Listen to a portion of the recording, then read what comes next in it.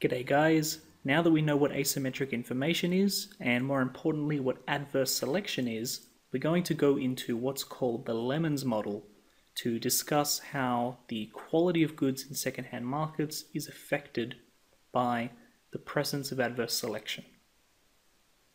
So let us say that in the secondhand market for cars, you've got two different types of cars.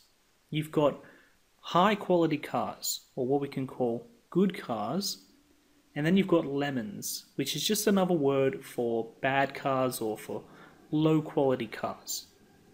Let us say that good cars are typically worth about $15,000 and lemons are worth about $10,000.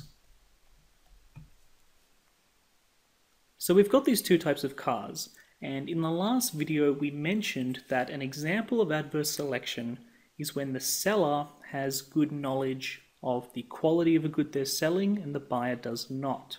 This is the case in the second-hand car market.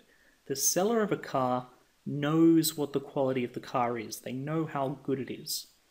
But the buyer doesn't have the same level of information they do. They might not realize, you know, how many times it has broken down over its life or how reliable it is. So the seller can try to exploit the fact that the buyer lacks that information. Now let's see what the consequences